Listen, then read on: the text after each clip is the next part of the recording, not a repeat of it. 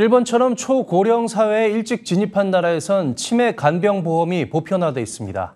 국내 치매 환자가 급속도로 늘고 있는 가운데 기존의 돌봄 지원만으론 역부족이어서 민간 보험이 보완해줘야 한다는 목소리가 높아지고 있습니다.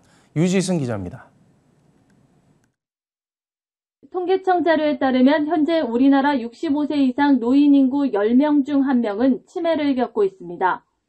국내 치매 환자는 2018년 기준 75만 명, 오는 2024년 100만 명에 달할 것으로 추산됩니다.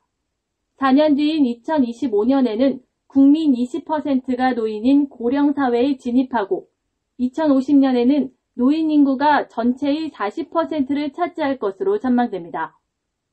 고령화로 치매 인구가 급증할 것으로 예상되고 있지만 아직 치매에 대한 근본적인 치료법은 나오지 않은 상태입니다.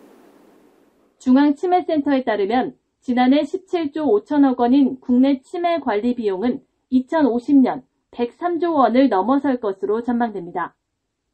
치매 환자와 가족은 약값부터 간병까지 경제적 어려움에 빠질 수밖에 없습니다.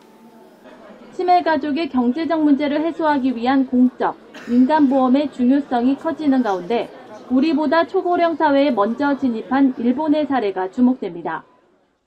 일본은 정부 차원에서 고령화와 치매 가족에 대한 지원 확대와 더불어 민간보험사의 참여를 독려하기 위한 정책을 펼치고 있습니다. 무엇보다 보험사 자회사 업종에 건강, 의료, 간병 컨설팅 업무를 신설해 관련 사업을 하도록 규제를 풀었습니다. 그 결과 일본 보험사들은 치매와 간병을 보장하는 보험 상품을 출시해 공적 보험의 보완적 역할을 하고 있습니다.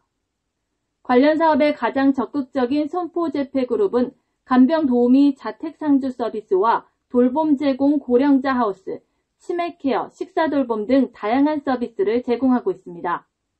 많은 보험회사들이 지금 치매 보험을 어, 적극적으로 판매하고 있고 치매 보험뿐만 아니라 여러 가지 노인 요양 서비스와 어, 결합 서비스를 제공하는 단계까지 지금 발전해 있다.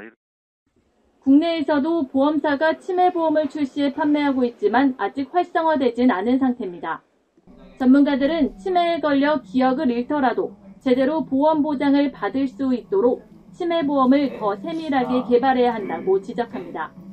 또 일본처럼 치매에 걸리기 전 단계에서 예방 care까지 보장하도록 보험의 역할을 확대해야 할 것이라고 조언합니다. 머니투데이 방송 유지승입니다.